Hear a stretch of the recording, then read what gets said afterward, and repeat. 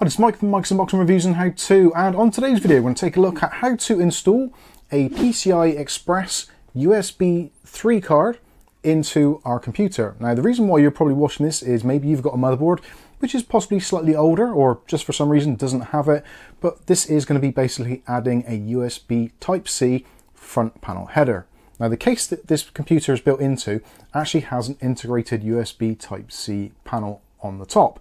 So obviously it'd be nice to be able to use that at some point, or if you plan on selling a PC and it hasn't got it, these are very, very cheap, inexpensive things to get. You can pick up ones such as this specific one on places like AliExpress for around about seven pounds.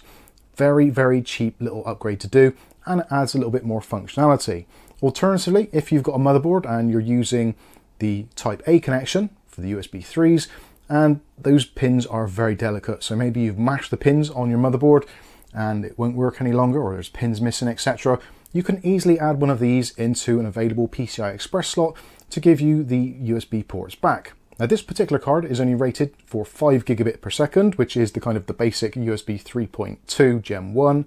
You can get ones which are faster, obviously depending on what you need, you can spend more if you want to. But for most people, 5 gigabit per second for a couple of Type A's and also Type-C is absolutely fine.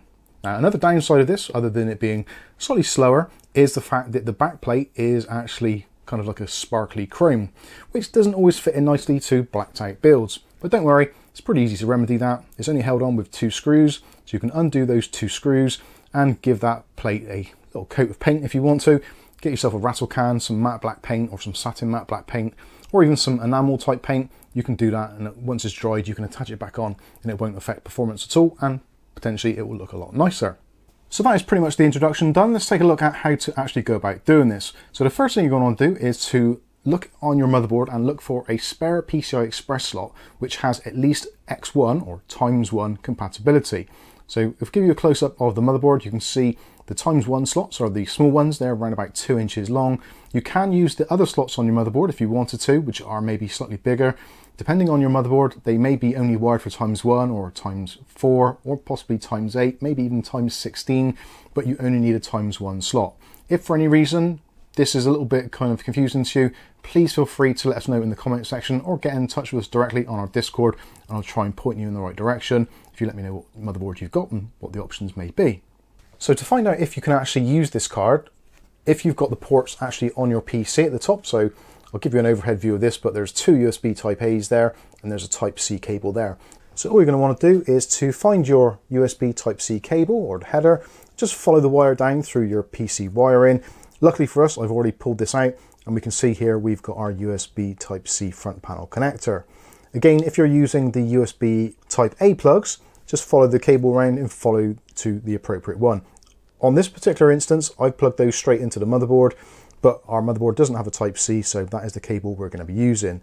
So all you need to do is to pass this through underneath where your power supply goes, or somewhere along this bottom section, so you can run the cable into the inside. So let's pass that through first.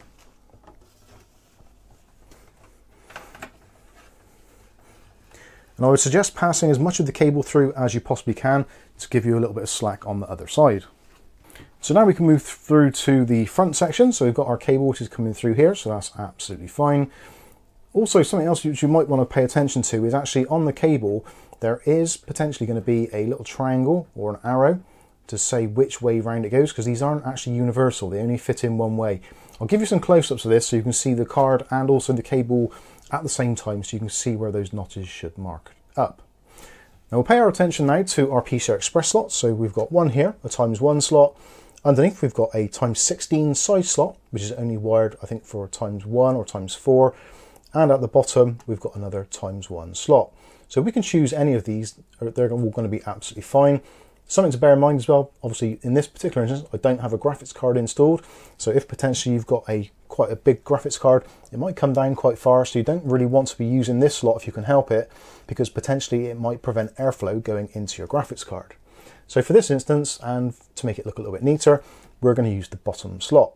So in order to use that, we're going to remove our PCI Express blanking plate, which is directly alongside our slot. This one is the bottom one. I'm just going to remove that blanking plate so we can put our new card in.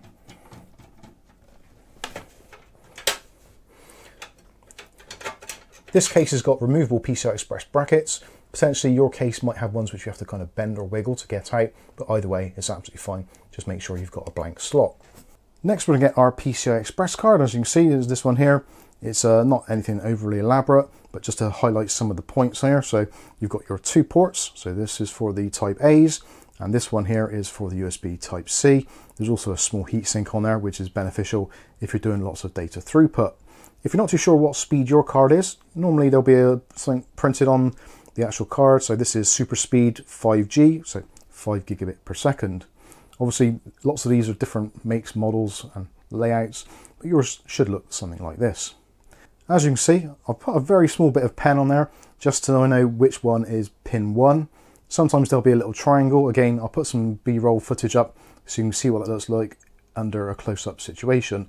Maybe you can just about make it out on there, but there is a little triangle to denote which pin is which. So pin 1 is down here. And also on our cable, there should be a small little triangle just over on this far side here.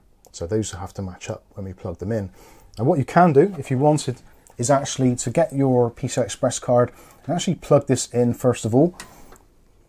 So take in note of the notch on both sides and just plug it in first of all.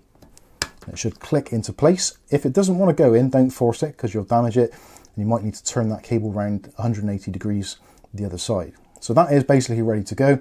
So now all we need to do is to line up with our PCI Express slot at the bottom of the board and also the slot at the back and just a little bit of pressure and it should lock into place.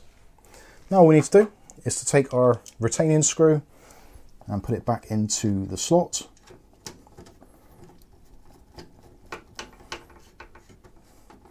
Doesn't have to be massively tight, just so it's snug and that the card isn't moving. At this point, you can manage your cables and tuck them down however you want to, but essentially that is pretty much it. So when it's done, it's going to look something similar to this. Now again, obviously, if you're using your Type A connection as well, you'll have a cable in there, which you can also route through through any of the channels at the bottom of your chassis. So there we go, there is our PCI Express adapter card installed. We've got a spare bracket now. You can obviously just put that into the packaging or put it into the box.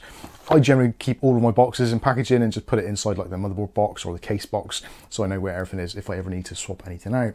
But at this price, around about six or seven pounds for a PCI Express adapter card, realistically, if you do change your mind, you can basically leave it in there because it's not a great deal of money. It's what the price of a couple of cups of coffee these days. Anyway, I'm wittering on now.